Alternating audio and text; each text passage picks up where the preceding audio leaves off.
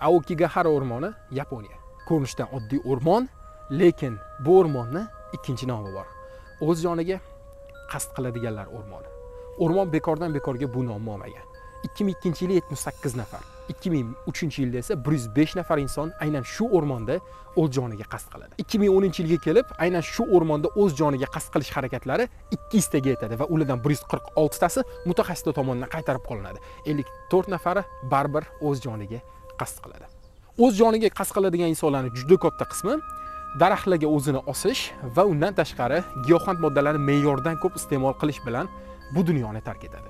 Hukumat so'nggi yillarda aokigahara o'rmonida nechta inson har yili o'z joniga qasd qilayotgan sonini yashiryapti va uni hech kimga aytmayapti. Lekin mandagi ma'lumotlarga ko'ra hozirgi kunda eng kamida uchta inson bu o'rmonda o'z joniga qasd qilishga harakat qilyapti bu degani bir yilda minglab insonlar aynan shu o'rmonda o'z joniga qasd qilishga harakat qiladi degani.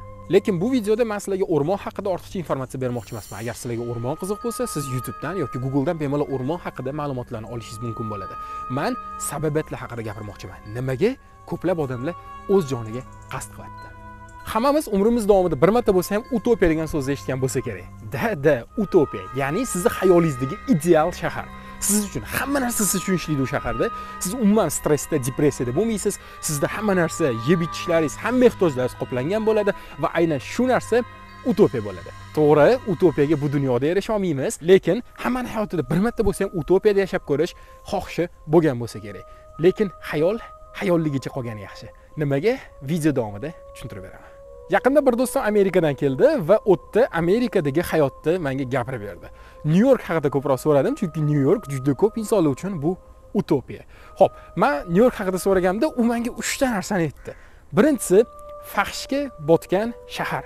Ikkinchisi narkotik moddalar ochiq savdosi bilan shug'ullanishadi odamlar uchinchisi bo'lsa shaharda narkotik moddalarni o'tkir hidi bor. Tasavvur qilyapsizmi juda ko'p insonga juda ko'pchilik insonga utopiya bo'lgan shahar mana shunaqa holda bo'lib turibdi. Bunga asosiy sabab nima?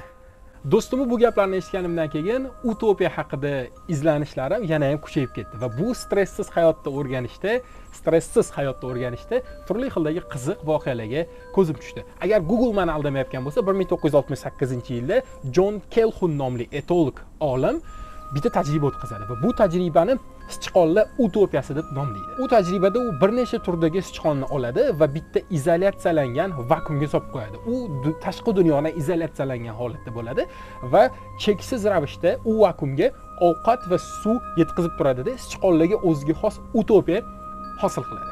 Utopiyada bir necha kun yashagan sichqonlarda boshida hammasi zo'r edi keyin bo'lsa hammasi juda ham o'zgarib ketdi.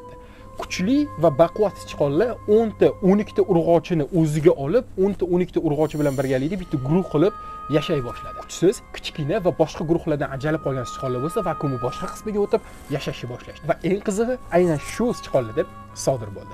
Sichqonlarda bir necha haftadan so'ng agressiya kuzatildi ular juda ham agressiv holatda va jinsiy aloqaga bo'lgan moyilligi o'ta darajada tushib ketdi. Ya'ni u guruhdagi sichqonlar boshqa sichqonlarga tajovuz qilar va ularni o'ldirishga harakat qilar va jinsiy aloqaga umuman moyilligi yo'q edi. Va ayrimlarda bo'lsa hattoki jinsiga qaramasdan turib ham jinsiy aloqa qilish holatlari kuzatildi.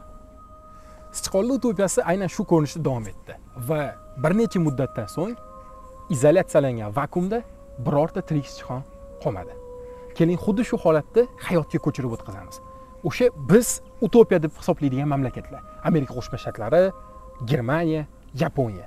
Nimaga bu darajada suitsid ya'ni o'zini o'zi o'ldirish holatlari juda yam ko'payib ketyapti u davlatlarda.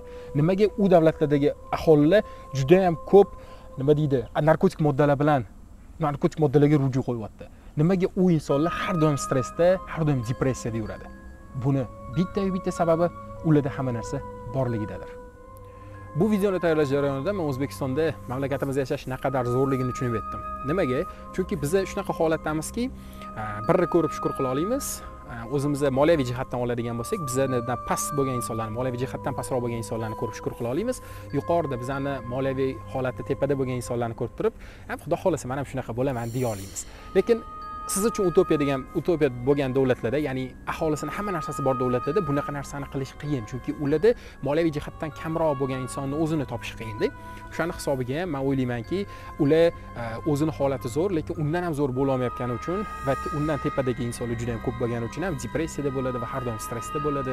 Depressiyani juda katta nima deydi oxirgi bosqichi o'lim bilan teng bo'lgani uchun shunaqa suitsidlar yoki narkotik moddalarga ya'ni ular Э, уже kayf qiladigan boshqa joyi qidirishga harakat qiladi va narkotik moddalardan oxir topolmagandan keyin o'z joniga qasd qilish yoki narkotik moddalarni e, miqdorini ko'paytirishga olib keladi va bularni hammasi oxiri o'lim bilan tugaydi. O'shaning uchun siz uchun utopiya bo'lgan davlatlarda ham siz uchun ideal bo'lgan ideal o'zi aslida ideallik yo'q lekin ideal bo'lgan insonda ham e, kamchiliklar bo'lishini va o'tda ham minusda bo'lishini tushunib yetishish uchun aynan shu videoni tayyorlashga harakat qildim. Hayol hayolligicha qolgani yaxshi. Utopiya hayolingizda bo'lgani yaxshi. Utopiya teng o'lim. E'tibor uchun rahmat kattakon